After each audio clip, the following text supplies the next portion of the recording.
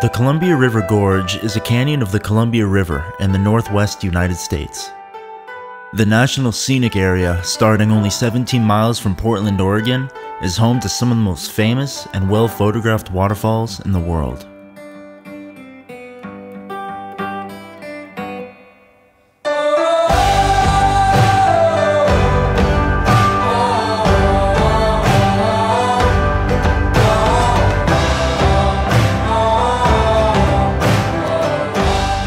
Starting in the westernmost part of the National Scenic Area, and after a very easy hike from the small parking lot, you'll find Latourell Falls.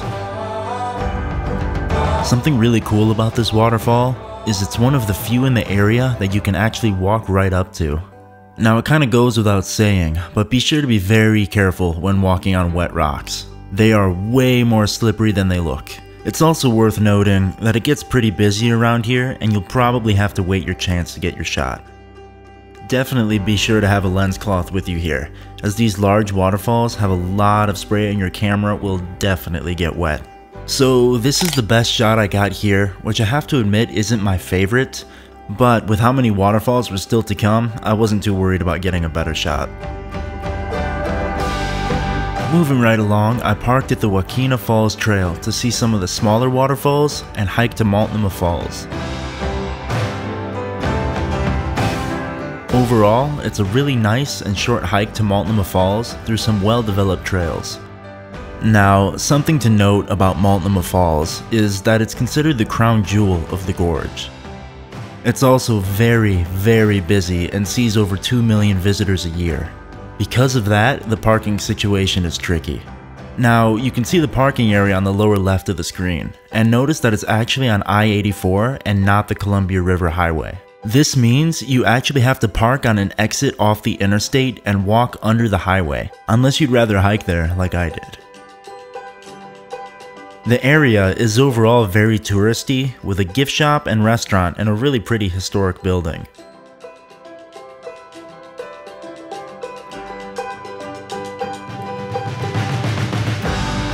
Just a short walk ahead from there and you'll see the entire 620 foot drop of the waterfall. Now, because of the weather, I didn't get a great shot on this day, but for reference, here's a picture I took a few years ago when I was there with more dramatic weather.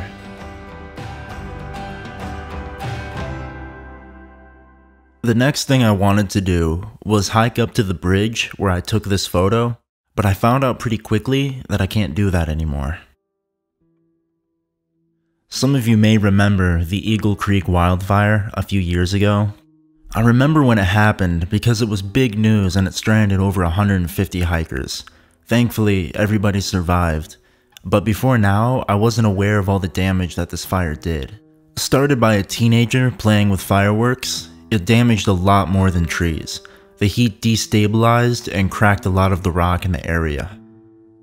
I moved up the road to see my favorite place in the area, Oneonta Gorge, and when I got there, I found that this canyon was another casualty of the fire.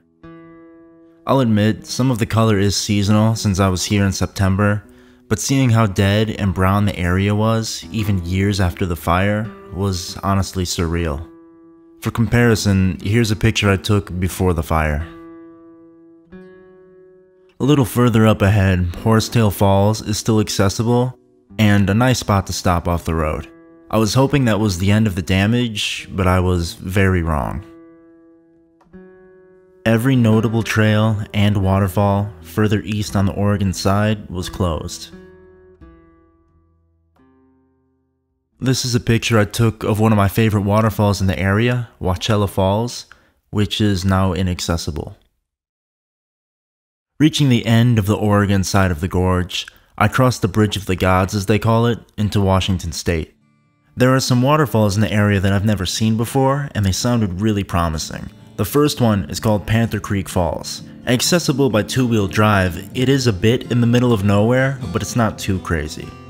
The path is kinda hard to find. After parking in the dirt parking lot, walk across the street and you'll find this little sign. After a brief hike downhill, you'll find the beautiful and very, very photogenic Panther Creek Falls.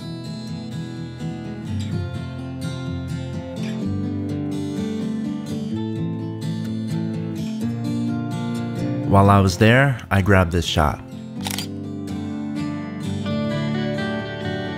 After about a 30 minute drive north, you'll find Falls Creek Falls. Definitely a rougher drive, but if you're careful, you can do it with two wheel drive. At this point, I was a long ways from cell service, and I was curious just how far in the middle of nowhere we were, so I took off the drone from the parking area. And as you can see, this waterfall offers some real seclusion.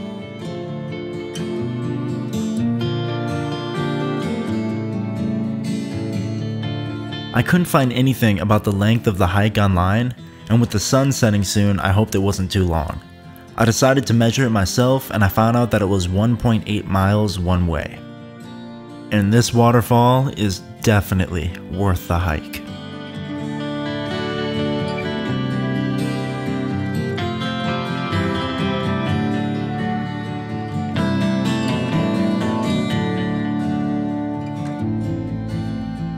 There was a brief moment where the sun cut through just right and made a rainbow in the midst of the waterfall.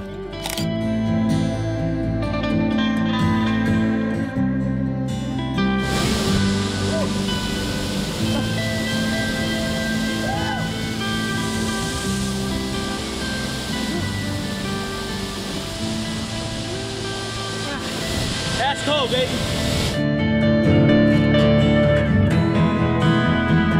With 90 waterfalls on the Oregon side of the river alone, the Columbia River Gorge has the highest concentration of waterfalls in the United States. Even while we wait for the land to recover and rebuild, the gorge is really a beautiful and unique place.